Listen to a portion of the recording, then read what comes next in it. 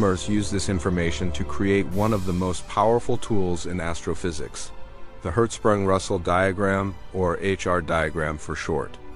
If you plot thousands of stars on a graph with their temperature on one axis and their brightness on the other, something amazing happens.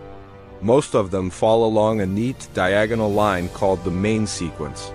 At the top left, you have the massive, hot, bright blue stars. They are the rock stars of the universe. They live fast and die young, often in spectacular supernova explosions. Down at the bottom right, you find the small, cool, dim red dwarfs. These are the marathon runners, sipping their fuel so slowly they can live for trillions of years. This diagram tells us about the lives of stars.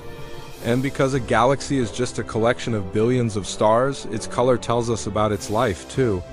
A galaxy with bright blue spiral arms is a place of active, ongoing starbirth, full of young, hot blue stars. An older, quieter galaxy or the central bulge of a spiral will look more yellow or red, dominated by aging stars.